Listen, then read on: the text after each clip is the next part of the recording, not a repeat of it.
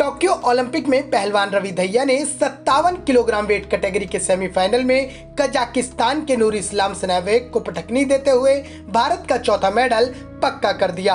अब रवि दहिया का ये फाइनल गुरुवार को होगा, जहाँ रवि गोल्ड या सिल्वर के लिए दाव लगाएँगे। आपको बता दें कि सेमीफाइनल में रवि एक समय आठ पॉइंट से पीछे चल रहे थे।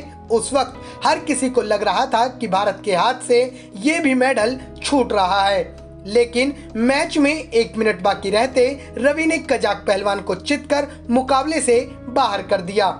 हालाँकि रवि को विक्ट्री बाय फॉल रूल से विजेता करार दिया गया। आइए अब आपको बताते हैं कि दरअसल ये विक्ट्री बाय फॉल रूल क्या होता है। जब कोई पहलवान प्रतिद्वंदी को चितकर उसके दोनों कंधे मैट से लगा देता है तो उसे विक्ट्री बाय फॉल कहते हैं। ओलंपिक स्तर पर खासकर सेमीफाइनल में ऐसी जीत दुर्लभ होती है। मैच के दौरान, जब रवि ने नूर इस्लाम को चित किया, उस समय वे सात नौ से पीछे चल रहे थे।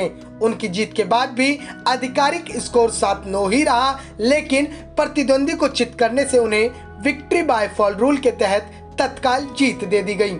आपको बता दें कि रवि दहिया ने प्री क्वार्टर फाइनल और क्वार्टर फाइनल अपनी बाउट टेक्निकल सुप्रियरिटी के आधार पर जीती कुश्ती में अगर पहलवान प्रतिद्वंदी पर 10 पॉइंट की बढ़त हासिल कर लेता है तो उसे टेक्निकल सुप्रियरिटी के आधार पर तत्काल जीत मिल जाती है। रवि ने प्री क्वार्टर फाइनल में कोलंबिया के ऑस्कर को तेरह दो से हराया।